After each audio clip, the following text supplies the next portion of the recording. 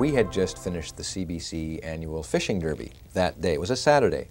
And we'd had a few cocktails and so forth, and I wasn't driving, I was in a bus, so it was all perfectly above board. And we thought we'd go across to the local saloon to have a few more. And was, this flash flood occurred, and it was, it was raining so hard, like only a prairie rainstorm can, that the street leading back to the CBC was literally flooded. Right. So there were three of us, and we all looked at each other and said, there's nothing else to do but let's swim for it. So literally, there was about this much water on the street, so we were doing a breaststroke up the street. No. And if you've ever done the breaststroke up a street, uh, you, if you've never done it, you should Not up because a street, it's, no. it's quite a quite an experience. So we, like a bunch of drowned rats, show up into the newsroom, and um, there's one reporter on it. She's going out of her mind because the entire city is flooded. I mean, the subways are flooded. The entire city's a mess. So we made some very very strong coffee. and fortunately, there was a videotape editor and a cameraman with me and uh, we all started working. And I was on the phones. I had no intention of going on air. I mean, I hadn't shaved in two days, and you know, I was really waterlogged and so forth, and my eyes were like this. But I got on the phones working, uh, talking to the police and the fire department and towing companies, basically putting together material for another reporter uh, who was to have come back mm -hmm. to, to use on the air. Uh, but the reporter showed up like 60 seconds before airtime and said, Well, I don't know this material. I don't know what to say. I don't know what to do. So I said, well, I've got the material. So in one, not one of my brighter moves, I pulled the material out and went into the studio.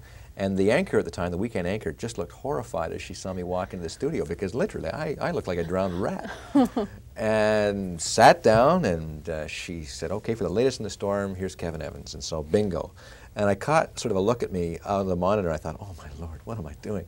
And as I'm starting to go over this material, I could see through the window there into the studio the three buddies who I had been 20 minutes before swimming, swimming. up Young Street with, looking into the studio, and they couldn't believe what they were seeing. So it, fortunately, uh, it went smoothly, and uh, we got the information across. But that time I was very nervous because I realized I was way out of my depth. I shouldn't have been on the air that night. But, way out uh, of your depth, eh? Way out of my depth, yes, pardon the pun. Well, if you're going to be talking about a flood, you know, what better way than to show this is what it's like out well, there? Well, actually, that's how I'm i began. It's so bad. I, something like, uh, excuse my appearance, folks, but boy, it is really wet out there. and then I went on to how it's affecting life in Winnipeg that night. But uh, that was a fun night. and fortunately, there, th there was no tape of that one either. So. Oh, too bad.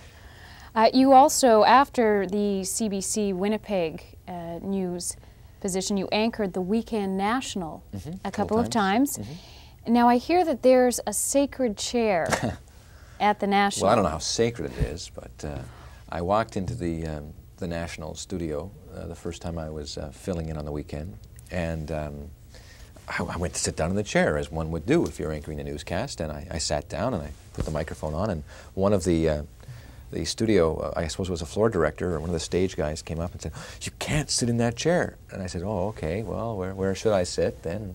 I said, well, why can't I sit in the chair? And he says, well, because that's Knowlton's chair.